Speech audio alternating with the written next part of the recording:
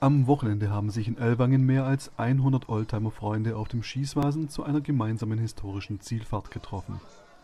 Eingeladen hatte der Oldtimer-Verein Ellwangen-Jagst. In diesem Jahr standen den Fahrern wieder zwei Rundstrecken zur Auswahl, die diesmal durch die reizvollen Landschaften des Firngrunds und den Ellwanger Bergen führten. Das Treffen der Oldtimer-Freunde, die zum Teil bis aus Ludwigsburg nach Ellwangen angereist waren, lockt regelmäßig auch viele Gäste und Zuschauer auf den großen Festplatz. Unter den Oldtimer-Veteranen waren auch Fahrzeuge dabei, die bereits 80 Jahre und mehr auf dem Buckel haben. Gut gepflegt und tadellos in Schuss präsentierten sich die Oldtimer ihren Betrachtern. Die gut organisierten Halbtagestouren des Oldtimer-Verein Elwangen-Jagst haben bereits eine lange Tradition.